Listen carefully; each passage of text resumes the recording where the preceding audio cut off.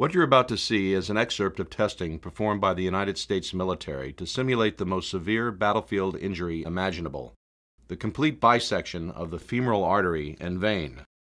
The objective was to identify the field treatment that provides soldiers the best chance for survival.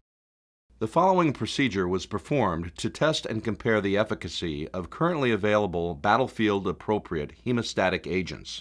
Using subjects weighing approximately 110 pounds each, the trauma doctor slices through the soft tissue and all muscles throughout the vital groin area down to the femoral artery and vein. The doctor now places his gloved hand over the wound to prevent the spurting of blood that occurs as he completely bisects the femoral artery and vein. The wound cavity is immediately flooded with blood. Suction is performed to measure the volume of blood lost as a hemorrhage is allowed to proceed uncontrolled to simulate the standard response time. If no action is taken, the subject will die due to exsanguation or bleed out, the leading cause of battlefield deaths. A single dose of QuikClot, 3.5 ounces, is dumped directly onto the bleeding wound, and pressure is applied using the standard military dressing. Hemostasis is achieved almost immediately after applying QuikClot to the trauma. After the gauze is removed from the wound, you can clearly see the QuikClot.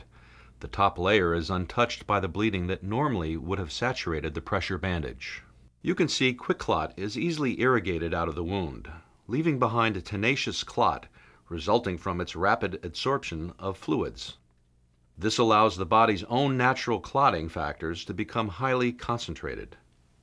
The treatments tested included the standard military pressure dressing, Marine Polymers RDH bandage, Medafor's Traumadex, and Z-Medica's QuikClot. QuikClot was the only treatment that reduced blood loss and increased survivability better than the standard military bandage. In fact, QuikClot was the only treatment to achieve a zero mortality rate, or 100% survivability.